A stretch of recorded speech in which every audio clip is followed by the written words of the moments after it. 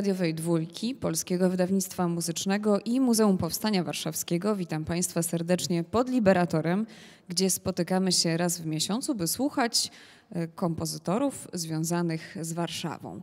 Ale tak się złożyło, że bohaterami naszych spotkań w Muzeum Powstania Warszawskiego są twórcy, którzy prowadzili swą działalność na wielu polach.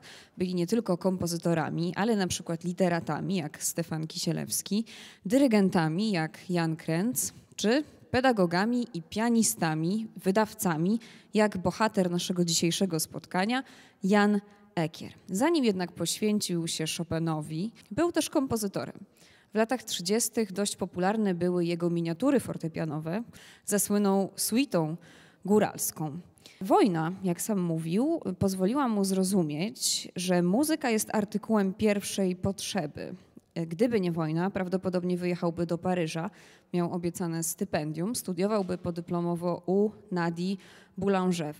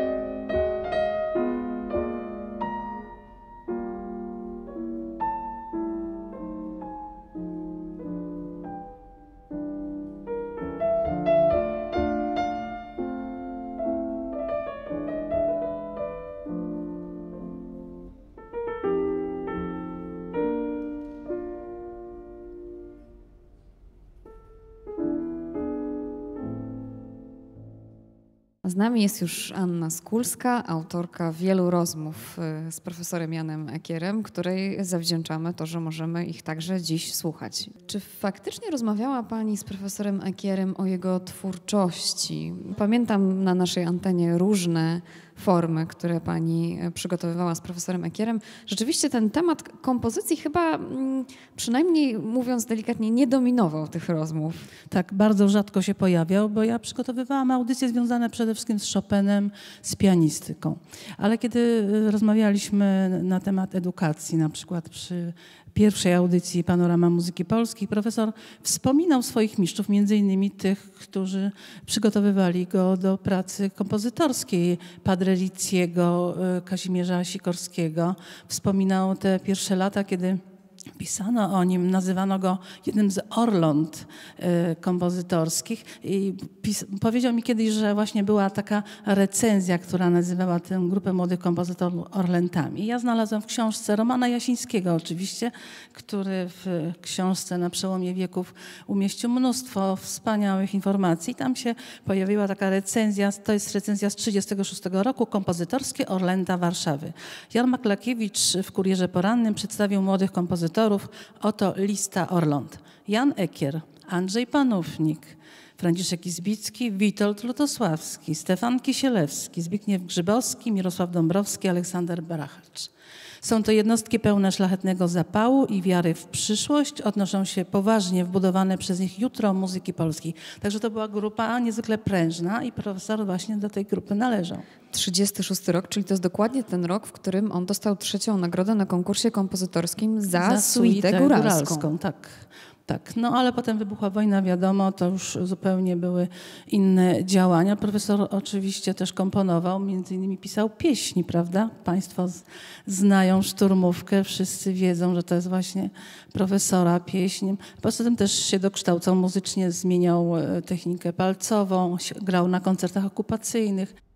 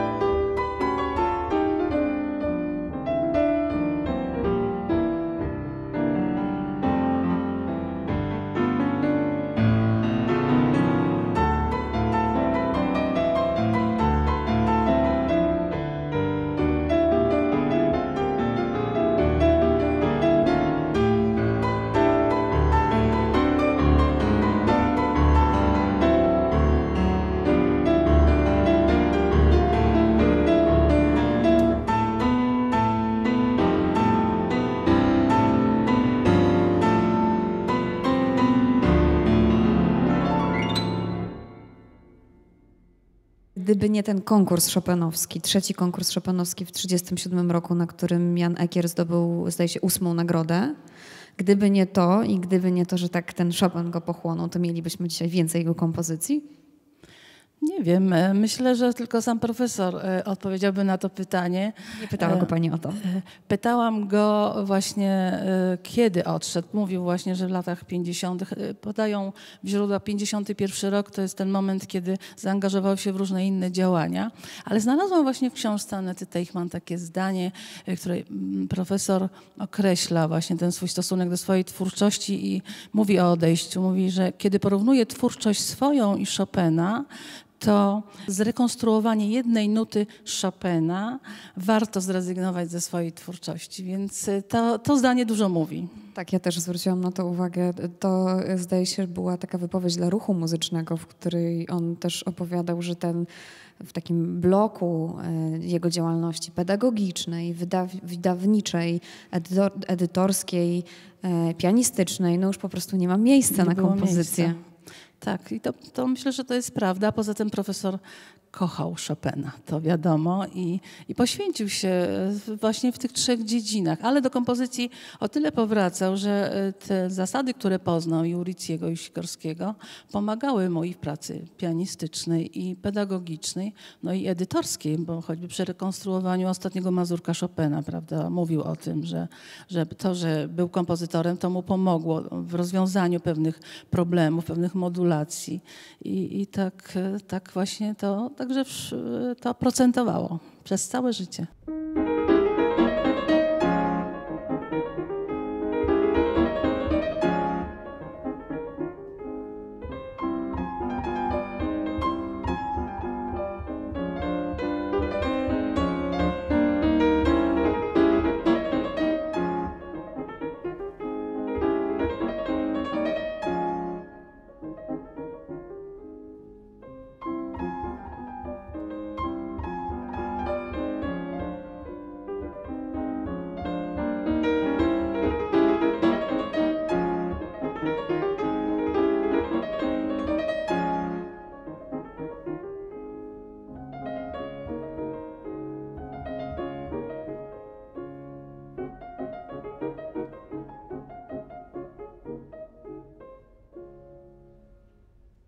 Nieraz osoby, które przeszły przez okupację, powstanie warszawskie, nie chcą wracać do tych wspomnień i niechętnie o tym mówią. Pani udało się go namówić na takie y, opowiadania. Tak, y, profesor ze wzruszeniem o tym mówił. Wspominał, y, w jaki sposób się spotykali, jak przenosili instrumenty, żeby można było grać. Mówił o tym z przejęciem, bo, bo i cały czas powtarzał to zdanie, które było na początku naszego spotkania, że, że właśnie muzyka dawała siłę, dawała też była ucieczką od tej okrutnej rzeczywistości. Przygotowałam dla Państwa fragment. On opowiada o czasach powstania warszawskiego i o pewnym wyjątkowym koncercie. Posłuchajmy. Koncert 15 sierpnia w Politechnice, właśnie jeden z pierwszych, gdzie zostałem wyznaczony, e, odbył się e, w auli Politechniki. Wtedy mam mm, wspomnienia wspaniałe, bo to było jedno z pierwszych przejść mm, ze starówki kanałami. I ci ludzie prawie wprost dostali się na ten koncert. Pianino było w dobrym stanie. Grałem tak, jak chyba nigdy nie zagram. Poloneza Astur i Etudę rewolucyjną, to, to były te dwa, dwie pozycje najczęściej, o które mnie proszono. Mam z tego koncertu taką małą pamiątkę, bo w czasie grania posłyszałem krótki świst, uderzenie, jakiś coś się działo, zorientowałem się, że kula wpadła przez okno, pod którym siedziałem i rykoszytem się odbiła i spadła gdzieś niedaleko mnie. Kątem oka to zauważyłem, nic nie dałem po sobie poznać. Owacja była olbrzymia, no ja ukłoniwszy się z, e, kilkakrotnie takim lekkim gestem, no jak gdyby mi coś, no powiedzmy chusteczka spadła, prawda, podniosłem tą kulkę, mam ją do dzisiejszego dnia jako pamiątkę z tego koncertu. No, są to drobiazgi, ale one się składają na tą jakąś atmosferę niesamowitą, jaka była w czasie powstania. Jednak jakiejś woli przeżycia, jednak jakiegoś ukrytego entuzjazmu. A co bym dodał jeszcze, że ten okres dał mi ogólne poczucie, czym jest dla człowieka muzyka. Pamiątka z Powstania Warszawskiego. Niesamowity koncert. Wspomina go też Danuta Szaflarska, pierwsza żona profesora. Rzeczywiście takie zdarzenie miało miejsce na Politechnice. Tak, i ten koncert pojawia się we wspomnieniach bardzo wielu powstańców. Był taki właśnie ważny, bardzo wiele osób przybyło. No ja myślę, że, że to, co powiedziałyśmy już, że y, no, myśmy nie przeżyły wojny, prawda, ale wyobrażam sobie, że muzyka dawała ucieczkę od tej okrutnej rzeczywistości. Przez chwilę człowiek nie myślał, co będzie, prawda? W tych wspomnieniach też profesor mówił wcześniej pani, że e, Niemcy zrobili Chopinowi pewną przysługę, zabraniając wykonywania go na koncertach, bo jeszcze w księgarniach można było kupić Słowackiego czy Mickiewicza, a nie można było wykonywać Chopina, przez co ludzie tym chętniej e, chodzili na, te koncerty. A w książce Anety Teichmann widziałam taki świstek papieru Jana Ekiera z domowego archiwum, na którym jest wynotowane pranie, jakieś lista zakupów, zupełnie nieistotne rzeczy, taka dla niepoznaki kartka, a, a tam gdzieś małym druczkiem adresy właśnie tych ka kawiarni, tych mieszkań prywatnych, w których odbywały się te koncerty. Swoją drogą to jest niesamowite zadanie od AK. Zagrać koncert, zagrać Chopina.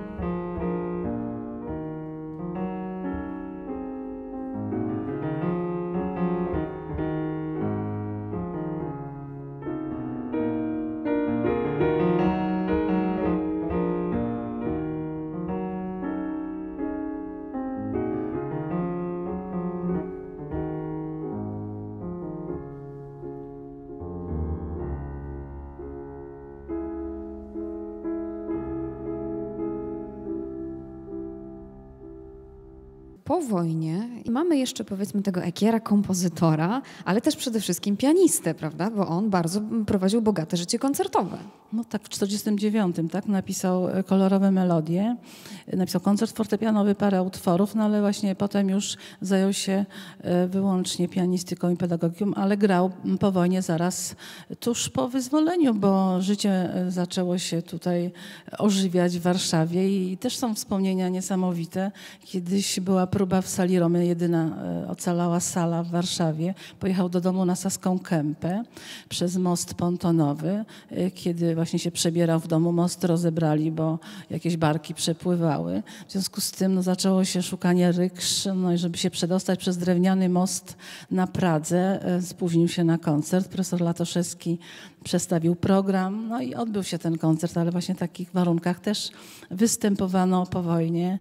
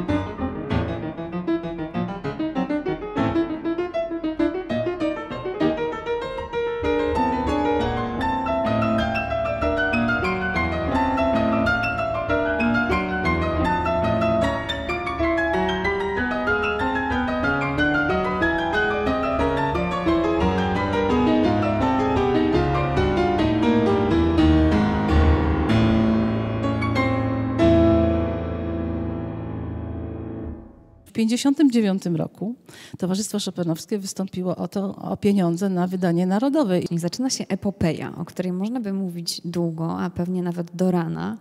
Dlaczego nie od razu, dlaczego tyle to trwało, ale właściwie może niektórzy z Państwa nie wiedzą, na czym polega to wydanie narodowe.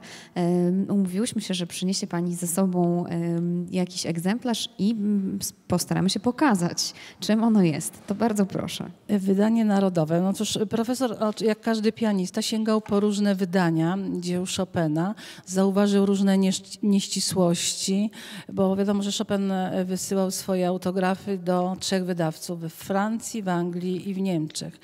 No i w tych różnych wydaniach były różne mm, no, zmiany. I profesor e, po prostu chciał to e, wszystko jakby uporządkować, ja bym to tak powiedziała. Wziął pod lupę każdy utwór i każdy utwór ma wstęp. W tych wstępach jest też, są też wypowiedzi Chopina cytowane z listów, potem jest autograf i wersje różne utworów. Chopin nanosił poprawki na e, autografy podczas lekcji. Są różne poprawki właśnie w tych wydaniach. I profesor poza tym autografem pokazuje różne wersje. No właśnie, tutaj jest wersja z późniejszymi autentycznymi wariantami. Ich jest naprawdę dużo. Tu jest wersja na przykład, e, dwie wersje jednego nokturnu S-dur z opusu 9. To jest taki egzemplarz pokazowy na, na konferencji prasowej, kiedy wydanie narodowe e, weszło w życie e, to wydanie jest już ukończone, y, ukończone formalnie, są wydrukowane nuty i tak dalej, ale jak sam profesor mówił, ono jest otwarte i będzie zawsze otwarte, bo zawsze się znajdą kolejne źródła, bo profesor opracowując to wydanie narodowe opierał się na różnych źródłach, na listach Chopina, oczywiście przede wszystkim na autografach, szukał tego po całym świecie. Zawsze mówił, że no teraz to jest łatwiej, bo można kliknąć. Właściwie on był aktywny cały czas, prawda? Cały Przez 100 lat. 100 lat, tak do końca życia mm, stale jeszcze właśnie to wydanie narodowe jakby y, jeszcze mm, dopieszczał, powiedziałabym, bo jeszcze szczegóły różne, jeszcze się pojawiały nowe źródła. Także to jest takie wydanie pomnikowe i to jest to dzieło życia profesora. Powiedzmy mm, parę zdań o pedagogice Jana Ekiera, bo to też jest bardzo ważny rozdział. Tak, profesor zresztą kochał pedagogikę, bo niektórzy muzycy, prawda, traktują dosyć obcesowo, tak, jako zło konieczne. A profesor tak i o tym mówią jego uczniowie. Też jest druga publikacja pani Anety mm, Teichmann, pedagogika Jana Ekiera i tu są właśnie sylwetki uczniów i ich wspomnienia. Z tego co pamiętam, bo właśnie podczas y, uroczystości stulecia u nas w studiu przecież byli uczniowie, przede wszystkim Piotr Paleczny, mm, Alicja Paleta-Bugaj i mówili o tym, jak profesor ich uczył.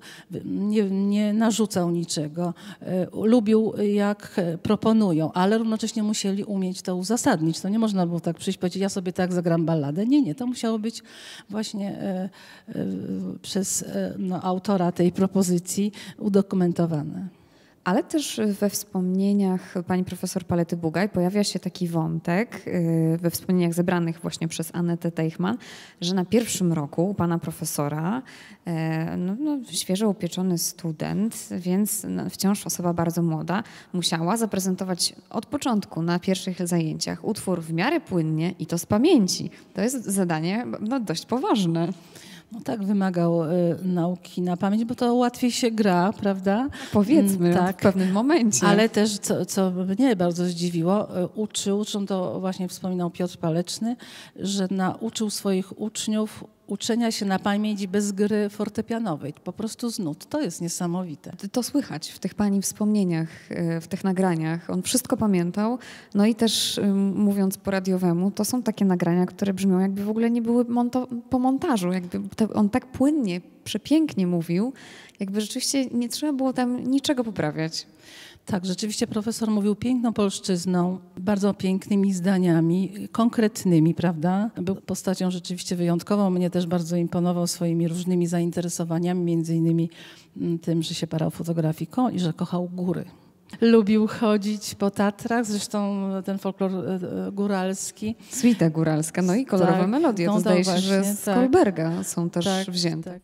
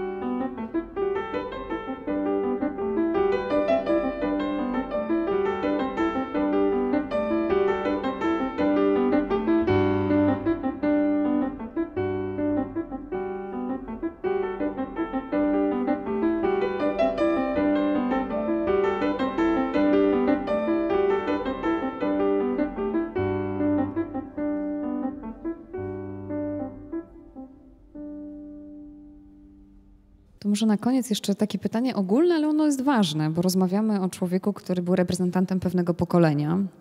Kiedy Wspaniałego się, pokolenia. Kiedy się czyta tą książkę Anety Teichmann i w ogóle um, śledzi losy ludzi urodzonych przed wojną, wykształconych przed wojną, no to nachodzi człowieka taka banalna myśl, co zostało przerwane, do czego to mogło prowadzić, ale też co temu zawdzięczamy, bo przecież y, Jan Ekier no, 100 lat swojego życia poświęcił polskiej kulturze i muzyce. Mm, I zastanawiam się, czy mm, taki kwestionariusz Prusta mo można by mu postawić, czy po prostu pytanie o, o, świat jego wartości. Co, co było nadrzędne w tym wszystkim? Bo tak górnolotnie niektórzy jego uczniowie mówią piękno, prawda w muzyce, autentyzm. A, a pani, czy kiedyś pani zastanawiała się nad tym?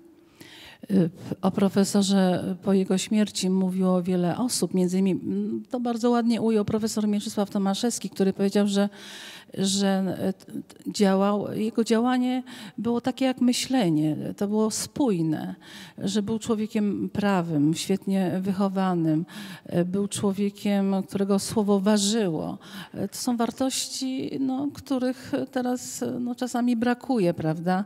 Pytałam go na przykład, dlaczego Chopin tak fascynuje przez te wieki, tylu ludzi z całego świata, a on postawił, pamiętam, takie trzy cechy Chopina. Po pierwsze, to jest muzyka na wskroś Polska, ale nie tylko w Mazurkach.